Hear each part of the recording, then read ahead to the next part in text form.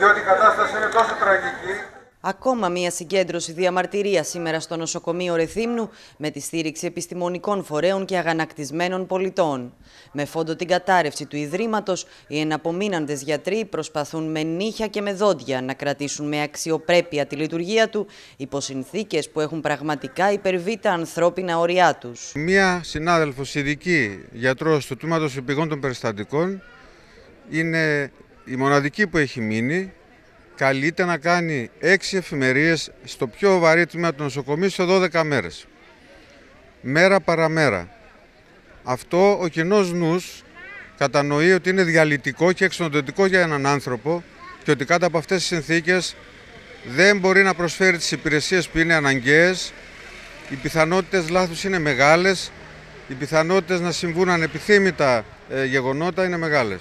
Η κατάρρευση είναι μια αλυσίδα και η οποία θα συμπαρασύρει και την πρωτοβαθμία φροντίδα υγείας, μέρος της οποίας είναι και τα φαρμακεία και η φαρμακοποιοί, και πλέον δεν μπορεί να λειτουργήσει τίποτα είτε στο δημόσιο τομέα, ο οποίος είναι εξαιρετικά υποστελεχωμένος, είτε στον ιδιωτικό τομέα με συμβάσεις ντροπής. Είμαστε εδώ σήμερα γιατί γνωρίζουμε ότι το ΕΣΥ καταραίει, προσπαθώντας να σώσουμε έσως κάποια κομμάτια ε, προκειμένου να μπορέσουμε να το ξαναχτίσουμε ε, από την αρχή όπως πρέπει για να ανταποκρίνεται στις πραγματικές ανάγκες του κόσμου. Η παθολογική κλινική και το τμήμα επιγόντων περιστατικών αυτή τη στιγμή λειτουργούν με έναν μόνιμο γιατρό έκαστος, ενώ αγροτικοί και ειδικευόμενοι γιατροί έχουν παραμείνει ελάχιστοι. Σύμφωνα με την Ένωση Γιατρών Ρεθύμνου, η παρέτηση του διοικητή του Βενιζέλου Νοσοκομείου Χάρη Λιδάκη είναι αποτέλεσμα της διαλυτικής κατάστασης στα νοσοκομεία της Κρήτης, που φαίνεται να ακολουθούν πορεία ντόμινο με τα συνεχή εντέλεσθε. Αυτή τη στιγμή η παθολογική λειτουργεί χωρίς μόνιμο γιατρό. Αυτό είναι πέρα από κάθε νομιμότητα. Το τμήμα απογών των περιστατικών. Λόγω της μεγάλης πίεσης που υπάρχει στους συναδέλφους και λόγω αναρρετικών αδειών, έχει μείνει επίσης με έναν μόνο μόνιμο γιατρό, ο οποίος και αυτός θα οδηγηθεί σε αναρωτική με αυτούς τους ρυθμούς που καλύτερα να δουλέψει. Το αποτέλεσμα είναι όταν φεύγουν από εκεί να ανοίγουν νέα κενά στο Βενιζέλιο ε, και νέα προβλήματα να δημιουργούνται. Αυτό δείχνει και η παρέτηση του διοικητή του Βενιζελίου. Αυτό το αδιέξοδο καταδεικνύει ότι με μετακινήσεις, με εντέλεστε, το μόνο σίγουρο αποτέλεσμα είναι η διάλυση των κλινικών.